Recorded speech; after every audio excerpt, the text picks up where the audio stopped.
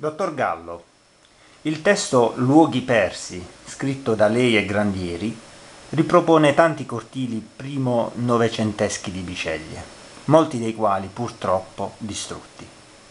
Tra questi luoghi persi ritroviamo anche Villa Fiori.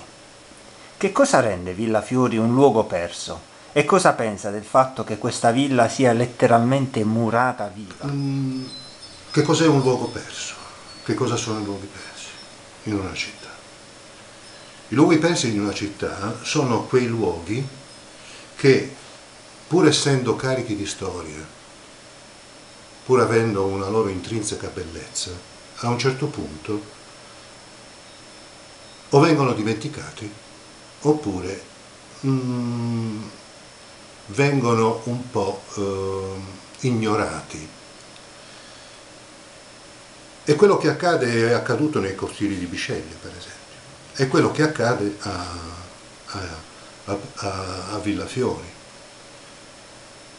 Ci sono uh, una serie di persone che dimenticano l'esistenza di questi luoghi e un'altra serie di persone che ci passano vicino e non si accorgono della loro presenza. Quindi un luogo perso quando è perso? Quando è dimenticato quando è lasciato andare al degrado e quando è nascosto da altre cose. Quel muro che eh, sta davanti a, uh, al Palazzo Fiori è l'esempio sostanzialmente di tutte e tre queste, queste cose. Perché?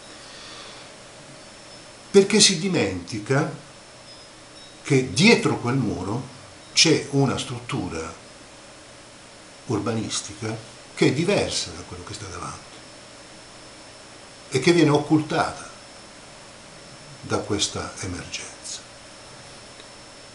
È lasciata andare al degrado perché tutto ciò che è coperto viene dimenticato. E tutto ciò che è nascosto da manufatti diversi rischia di mm, perdersi nel tempo.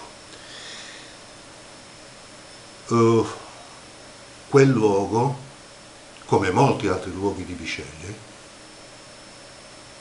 sono testimonianza innanzitutto della storia di un popolo e c'è una grande poesia che si, si, uh, si innesta nella storia. Poesia e storia fanno la bellezza di un luogo. E questo credo che dovremmo capirlo fino in fondo. Un invito a inviare la cartolina simbolica al sindaco? Sì, io mm, darei immediatamente un suggerimento.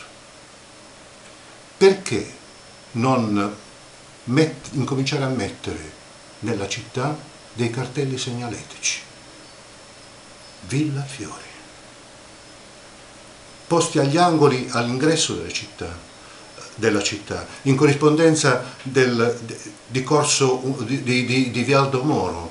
Eh, cioè, Già questo significa che chi passa con lo sguardo viene attirato dal cartello, dal cartello eh, che indica la presenza di un luogo storico e incomincia a ricordare l'esistenza di, di di, di, di, questa, di questa struttura, perché spesso molti non conoscono nemmeno che esiste questa cosa e quindi già cartello, dei cartelli segnaletici darebbero ragione all'esistenza di questo luogo. E poi al sindaco io direi questo.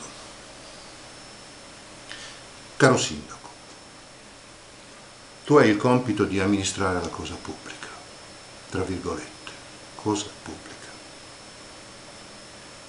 e per la sua storia e per la sua bellezza Palazzo Fiori o Villa Fiori è da considerare una cosa pubblica.